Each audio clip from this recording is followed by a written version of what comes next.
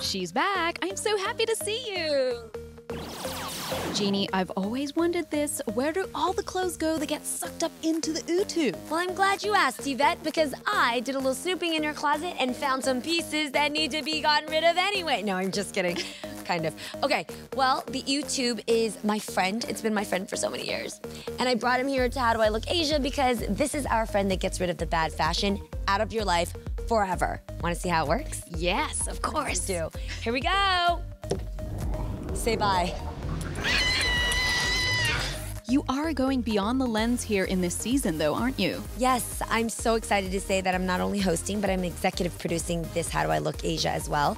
And it's because after so many years, we want to 2.0 this. This is a very special series that we're doing specifically for Asia. So, because of that, I'm kind of a control freak.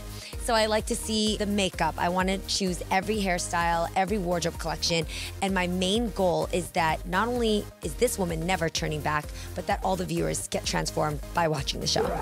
Follow Diva TV Asia on Instagram. Follow them on Facebook, on Twitter, because we're going to make sure that the social media is intact so we hear everything from you guys, but you also know exactly what's going on with us.